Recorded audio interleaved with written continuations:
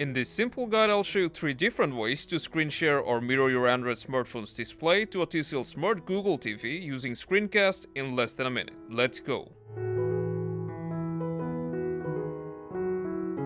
Before screencasting, you need to make sure that your smartphone and your TCL Google TV is connected to the same Wi-Fi.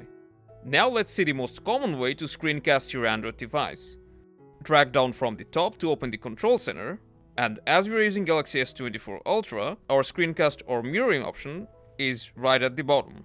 On other Android devices, this option may be called cast, mirror or screen share according to your device.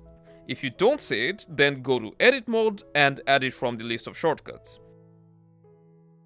So tap on screencast and it will open the list of available devices. You should see your TCL Google TV here. Just tap on it and select start now to start screen mirroring. Now your Android device will start screen mirroring immediately.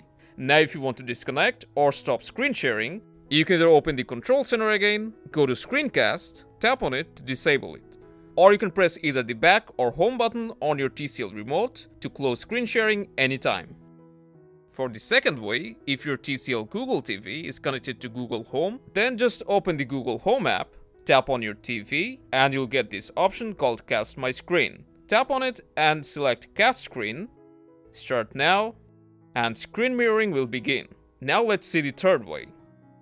Say if you're watching a YouTube video and suddenly you want to screencast it on your TCL TV screen. So from the video, if you tap on it, you'll see the screencast option at the top right corner. All you need to do is just tap on it, this will open the same cast option. From there select your TCL Smart TV and it will start playing the same video on your TCL TV right away. Voila! Now you can enjoy movies, TV shows or games on your TCL Smart TV's display for better viewing.